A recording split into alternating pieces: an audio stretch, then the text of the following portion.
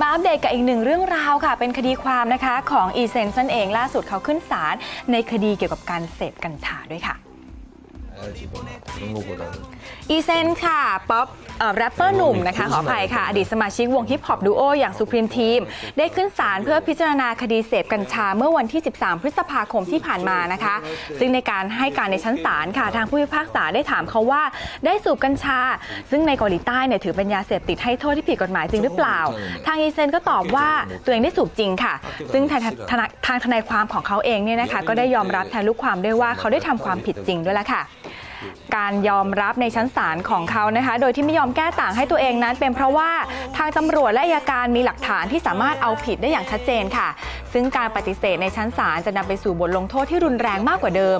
โดยหลังจากที่เสร็จสิ้นการพิจารณาคดีแล้วนะคะ อีเซนก็ได้ถูกนำตัวไปคุมขังค่ะที่ Southern Detention Center นั่นเองนะคะ โดยการพิจารณาคดีครั้งต่อไปจะเกิดขึ้นในวันที่ 17 มิถุนายนนี้ ส่วนอีเซนนั้นนะคะมีประวัติการเสพกัญชาและถูกจับในคดีนี้อยู่บ่อยครั้งั้งค่ะ โดยครั้งนี้ถือเป็นครั้งที่ 3 แล้วที่เขาถูกตำรวจจับ และต้องขึ้นศาลในคดีเสพกัญชานั่นเองค่ะ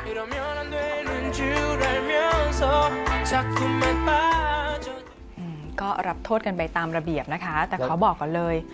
ย้อนไปที่นายงจุน ต้องบอกคุณแม่คุณแม่ฉันอาจจะน้ำตาไหลอยู่ที่บ้าน